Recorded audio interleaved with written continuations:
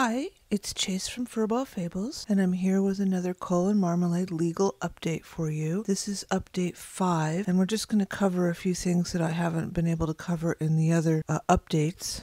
If you haven't seen the other four updates, we'll put a card here and then there'll be a link in the description and at the end of this video. First thing I want to mention is defendant's demand for a jury trial. So they have asked for a jury trial in this federal court, so that's going to be very interesting. Chris Poole applied for a trademark for Catman Chris at the end of last year, so it looks like this trademark has gone through. A certificate of interested persons and corporate disclosure statements has been released. So this is obviously a list of people that are going to be part of the case. You know, all of them are people that we know. They've added Holden 2 here. They've also named Madi Ramos. Of Catitude Daily. And at one time was part of I Heart Cats. And what's interesting about that is that Catitude Daily, uh, the trademark for that is owned by Horse Life Media, and Horse Life Media is owned by Steve and Ed. Madi is been mentioned a number of times in the documents. There's a series of emails about this, and uh, here's one from Chris. First question is Are we actually paying Madi and Amber? If so, this was never discussed. We know that they were both writing for the website. Chris seems to be unaware that they uh, were paying them back in November that they both apparently were not on the DPM payroll. They were considered staff of Holden 2.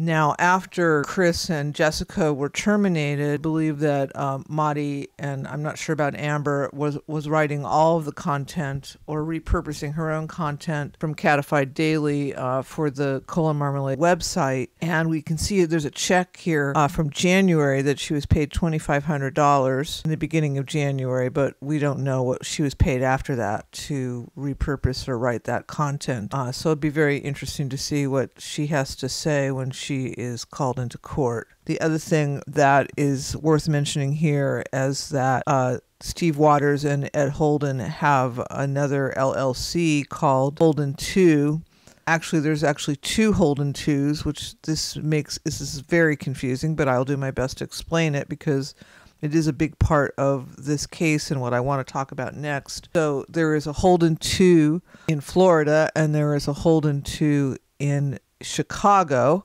this makes a little bit of sense to me because Ed lives in Chicago and Steve lives in Florida. The rest of it doesn't make any sense. Apparently, Holden 2 was the, ma- the management company that was managing Digital Pet Media, unbeknownst to Chris.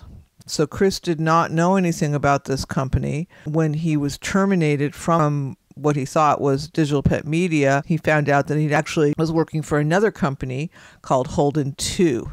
So there's a document called the Motion to Compel Production of Documents uh, and Sanctions. And basically, what this document is about is all the documents and documentation, etc., that Chris's counsel has asked Digital Pet Media for. Now, we've seen this list. I'll show it again here on the screen. This came from Stephen Watters, and these are all of the various things that they say uh, Holden 2 provided for digital pet media, but Chris had no idea how much he was paying for any of these services. There was no documentation. He was unaware of it uh, until he saw this list. And so he started questioning them in a series of emails asking if they could please break it down for him. So in this document of motion to compel, I'm not going to go over the whole thing because it's very repetitive. Basically, Chris's counsel is requesting all the documents that they would need for this case from Digital Pet Media. And Digital Pet Media, for the most part, and I'll show some of them on the screen, and you can always stop this video and, you know, look at these documents. Sometimes I go by them pretty quickly, but I, I try to show them to you. So if you want to stop and look and read what they say verbatim. They're there on the screen for you. Uh, Digital Pet Media objected to just about every one of these requests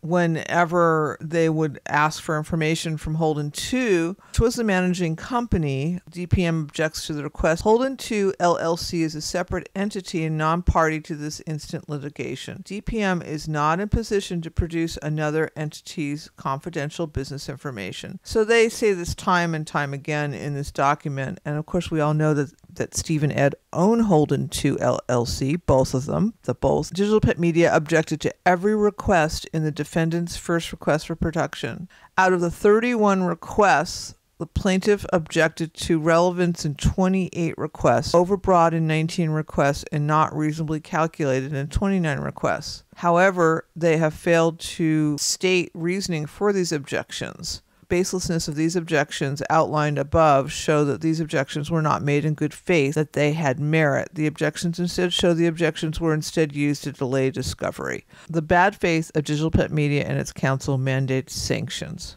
Okay, up next is a video about the money. I think you guys are going to be really interested in looking at this. We'll probably release it in the next few days. So thanks again for watching. Thanks so much for supporting Furball Fables. Uh, we're we're really thrilled to know you all. Uh, it's been an amazing experience for me to interact with you all in the comments. You are definitely a smart bunch. I really appreciate your thoughts. Uh, you make me laugh. You are horrified like I am. I'm sure uh, if Chris and Jess are looking at these comments, they must really be touched by all your love. So thank you so much and see you again in another couple days.